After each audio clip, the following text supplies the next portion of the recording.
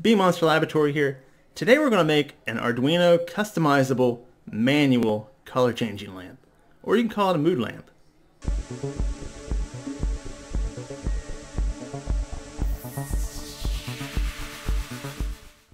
When I say manual color changing, that means that you will have to manually change the color of the lamp that you want in the serial monitor of Arduino IDE. And this is a great project if you want to add color to the background or to a display or whatever you want. If that sounds complicated, I'm going to show you how easy it is and that Arduino can be for anyone. Let's get started. Here are the components that I'm using for this project. I'm using a 22 gauge wire that I cut and clipped myself each of these. You could also use just regular DuPont wires that are male to male. You'll definitely need some of those. Or you can cut your own just like I did. I'll also be using two LEDs of each color, two red, two green, two blue. I'm also using three 220 ohm resistors. I'm using a large breadboard, a smaller breadboard, and Elegoo Uno. I'm using two LEDs of each color because they draw about 20 milliamps each the maximum you want to draw from one pin on your, your Uno board is 40 milliamps. So that would be about max. So I'll just use two. You could use one per collar, but uh, I'll just go ahead and use two. This is a 5 millimeter LED. Remember that the long pin is positive, the shorter pin is negative, and each of these wires here are connected to the positive pin of each, each row of LEDs. So the way this works is that these rows are connected, these holes right here, and these are connected, these are connected, but they're not connected uh, that way. So because I put the positive pin in this row for both of these LEDs, both of those positive pins are connected, as well as the negative pin on the other side. And I did that for each color, and these wires are connected to the positive pins of each of these collars. So this is what I have so far. Here I have the positive pins connected to these wires going down to the breadboard and then back here the negative pins are connected to these wires that go down to the breadboard and I'm just doing that for stability. As you can see they're connected to the negative pins of each color LED and because the two LEDs are connected because they're in the same row they're all connected. Same with the front. And I did that because I'm using a piece of paper taped together as a lampshade. That is the best thing I have right now. And it'll work for this illustration. Just put it right over top like that.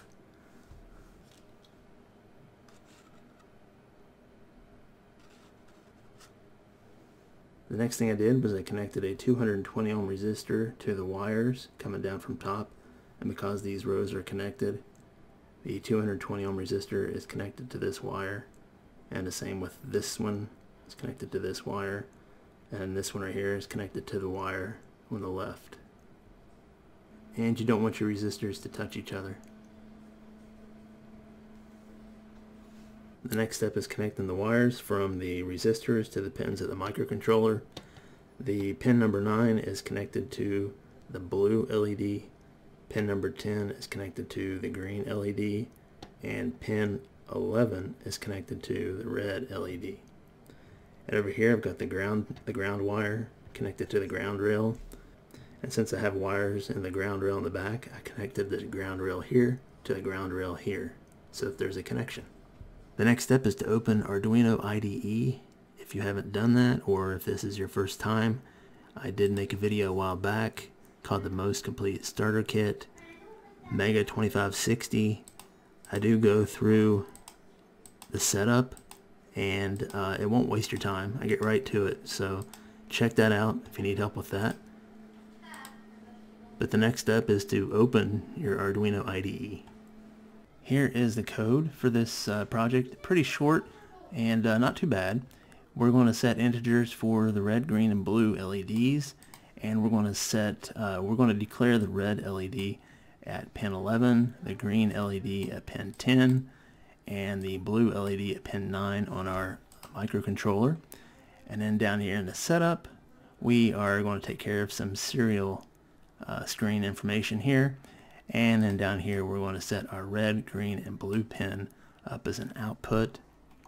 down here in the loop, we are going to uh, first, uh, this just takes care of the serial data um, coming in right here.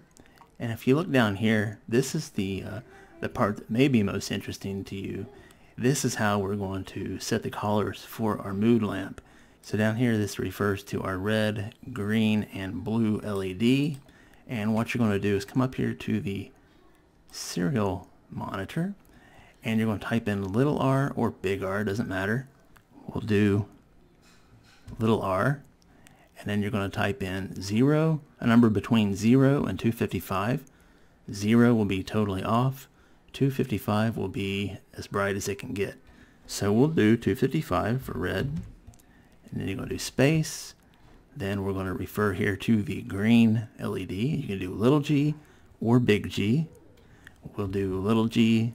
And we don't want much green in this first one, so we'll just do 50. But we don't want it totally off. If we wanted it off, we'd make it 0 and do space and down here we'll refer to the blue LED and we want that LED let's have a little bit of blue in it we'll do little b and 100 then you hit enter and this is what your LEDs would look like with those numbers typed into the serial monitor it's a reddish blue color Let's do one more. You do them all the same and you can set whatever color you want. So if we go back up here and let's take the red out. Let's do red 0. Totally off. And then we'll do uh, green um, 50 or let's do 100. Why not? 100 and blue we'll do 255. Hit enter and this is the color you get with those numbers you can see that the red is totally off and the green and the blue are lit up with the value that I put in the serial monitor. So all colors are done the same way. That is our code. And when you're done, you can just X out of that serial monitor. But that is all of the code. Not too bad. Just remember that uh, when you want to set it, you come up here to serial monitor, type in your values right here, and press enter.